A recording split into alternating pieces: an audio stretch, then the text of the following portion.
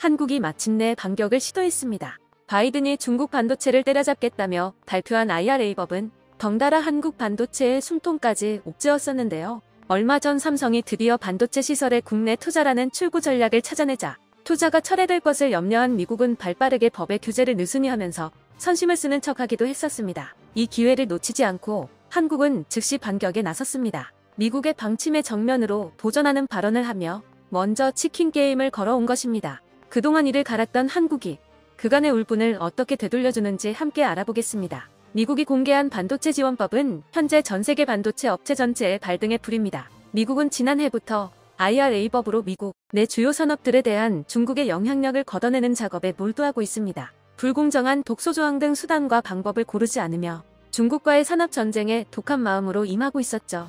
문제는 이 과정에서 중국과 미국 양쪽에 다 다리를 걸치고 있는 나라들이 피를 보고 있다는 것입니다. 한국도 여기서 자유롭진 못했는데요. 한국의 반도체와 전기차 관련 업종은 중국을 제외하면 미국의 방침에 그 누구보다도 큰 피해를 입은 업종으로 꼽힙니다. 하지만 미국의 이런 방침도 슬슬 한계에 도달하고 있었습니다. 아군과 적군, 수단과 방법을 가리지 않는 억지스런 방식 탓에 미국 내부에서마저 IRA법에 대한 부정적인 목소리들이 나오기 시작했던 것입니다. 최근 바이든 행정부의 방식을 비판하는 미국 전문가의 지적이 보도되어 화제가 되고 있습니다. 조 바이든 미 행정부가 자국 제조업 부활을 위해 동맹들까지 소외시키는 제로섬 방식의 산업정책을 추진하고 있지만 이는 성공하지 못할 것이며 인플레이션 감축법과 반도체 지원법 등의 차별 논란을 바로잡는 것이 시급하다는 것입니다. 워싱턴의 싱크탱크인 피터슨 국제경제연구소 애덤 포즌 소장은 미 외교 전문지 포린 폴리시 봄호에 실린 글에서 바이든 행정부의 미국으로의 제조업 이전 정책에 대해서 중국에겐 직접적으로 다른 나라들로부터는 좀 더 정중하게 생산을 빼앗으려는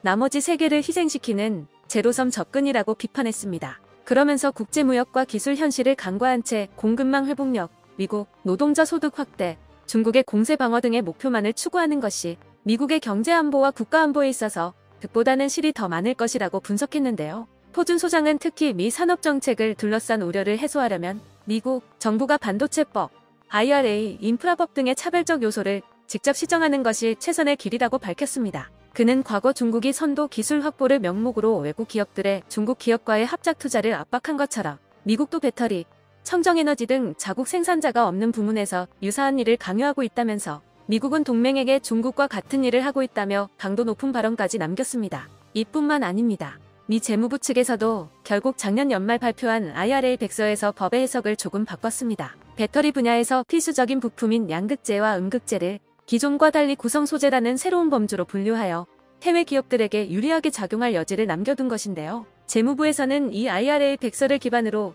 이번 주 세액공제 세부 지침 규정안을 발표할 예정인데 만약 양극재와 음극재가 여기서도 구성 소재로 분류된다면 한국은 미국 밖에서 채굴한 광물을 사용해도 IRA상의 세제 혜택을 그대로 받을 수 있게 됩니다. 이렇듯 현재 IRA법이 낳은 부작용 등으로 인해 미국 내에서도 갈등이 최고조에 달해서 그 한계를 속속 드러내고 있는 상황이 되었는데요. 반도체 분야에 대해서도 반도체 지원법의 가드레일 조항을 발표하면서 투자 보조금을 받은 업체가 향후 10년간 중국 내 생산 능력을 5% 이내로 확장하는 것까지는 허용하는 등 소극적인 변화가 생겨났습니다. 다른 여러 반도체 생산국들과 마찬가지로 한국도 이를 통해 조금이지만 압박을 벗어나 숨을 돌릴 수 있게 되었는데요. 한국은 이 기회를 놓치지 않고 즉각적인 반격에 나섰습니다. 삼성은 최근 메모리 반도체에 대한 인위적 감사는 없다는 선언을 했습니다. 메모리 반도체의 수익성이 지속적으로 악화되고 있고 미국의 증산 제한 법안까지 나온 가운데서 삼성은 도리어 초강수를 둔 것인데요. 이미 지난해부터 삼성을 제외한 SK 하이닉스나 마이크론 등